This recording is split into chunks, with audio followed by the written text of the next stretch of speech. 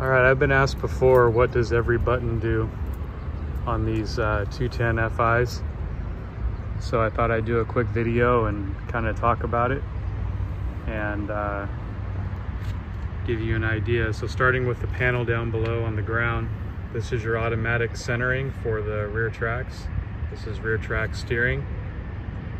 Uh, emergency stop, of course. Engine start and stop. You can actually start from the ground. This is a horn you honk to get the driver's attention. These are your favorite buttons. They're programmable in the display up top. Favorites four, favorites five. This is your water. Um, it's pretty self-explanatory. They have pictures on them. But water, automatic or manual. This would be if the engine's, when the key's turned on, there's a bar graph right here. It tells you how much water is in the machine. This is for the back door, the back door being right there. This is uh, to lock or unlock it when you're gonna raise it. So you would uh, push down, which is this button. This is your raise and lower for the back door and your float button. So you would push down and push unlock at the same time to unlock the door and then push up to swing the door open. And then this is, so you, the ground man can put the rabbit foot sensor down. This is the button for the rabbit foot on this side. And then this is the side plate See the symbol there for side plate. This is side plate up and down and automatic side plate. Automatic side plate is so when you're running the rabbit foot or slope on this side, it'll prevent the side plate from sinking into material like say you're pulverizing or you're in soft dirt or something like that. It'll constantly hop the side plate up and down to keep it from sinking in the material. So now I'm gonna go up top, unlock the panels, and we'll give you a tour of the top. Okay, for up top on the machine here, this is your center panel where the ignition is. And you have your fuel. I'm gonna go ahead and turn the key on so we can get back to that. Key in here. light that stuff up.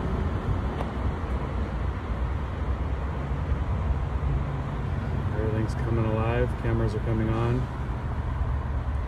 So these are your bar graphs for fuel, for water. This will be your clock. It'll switch off of 24 hour time here in a second. This is your vacuum fan, which is that focus, that fan up there. You can have manual on or automatic. This is your um, raise and lower for your hood. This is for heater, if you have it. One of our machines has a heater. It's actually pretty nice. Beacon light on and off, work lights on and off. This would be if you had the stop lights on the conveyor for the truck. You could turn the left stop light on or the right stop light on.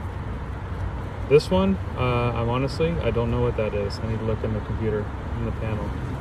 This is windshield wiper if you had the canopy and the spray.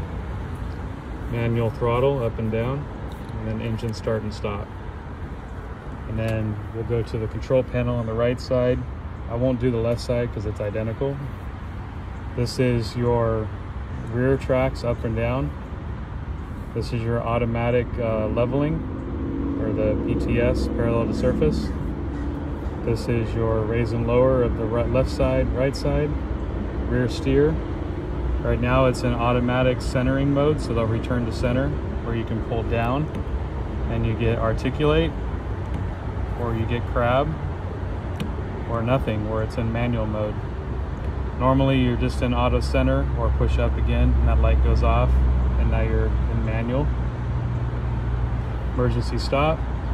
This is the cruise control. So when you're moving, if you want, you can lock in the speed that you're moving. So you push this and hold it for I think five seconds and it'll program your cruise control. So then all you got to do is crack it into forward, push this button, it'll take you back to the speed that you have programmed into it. This is your warning lights to tell you if you have any codes or any problems, you'll get lights on this button here. And you push the button and it'll tell you on the display what the code is.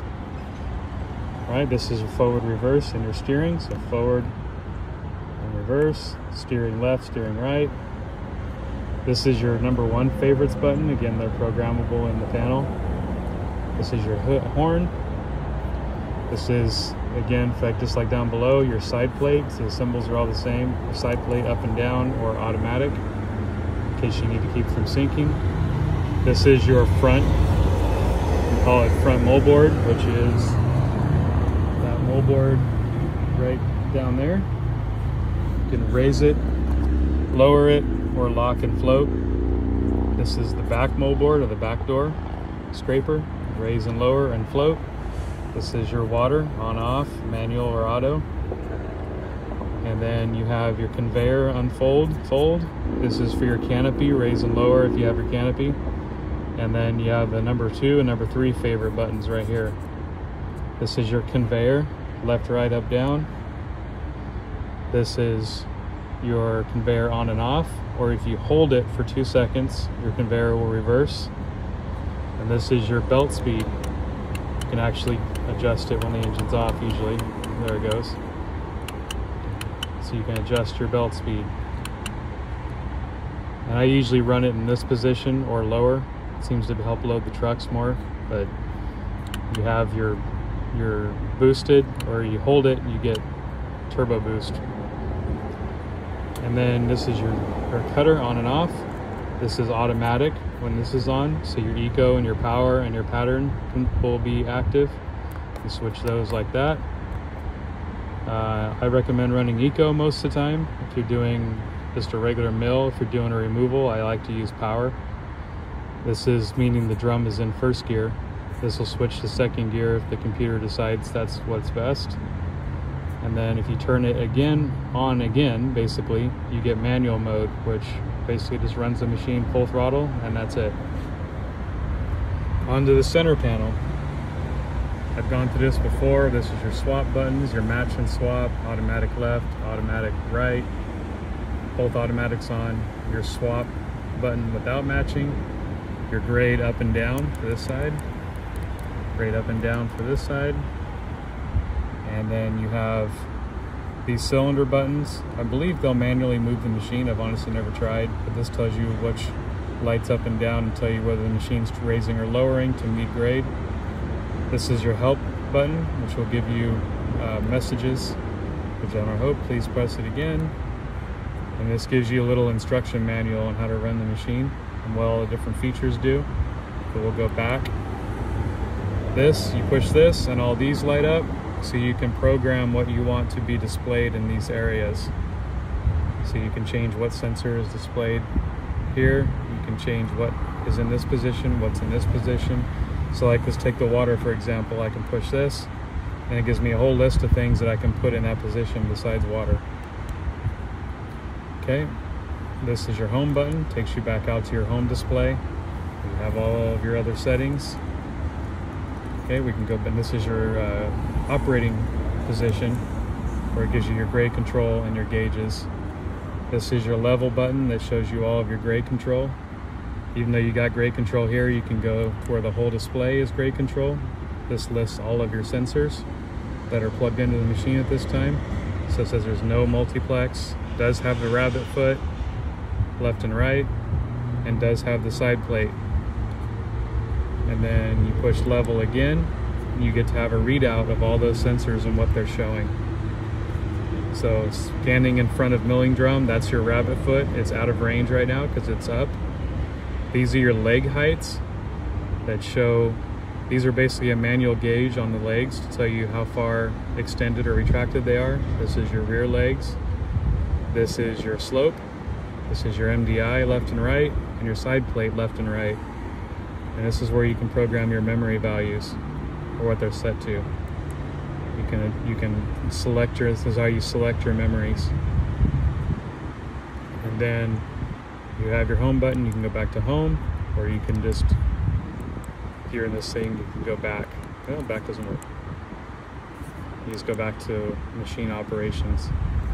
So that's oh cameras. So here's your cameras display left side of the machine, the conveyor, it's folded right now, and the back door, and you can push this button to change your camera views. That's a quick overview every button on the machine, uh, with the exception of down below in the front, but that's pretty self-explanatory, just look at the pictures. So I hope that helps you out. Until then, be safe.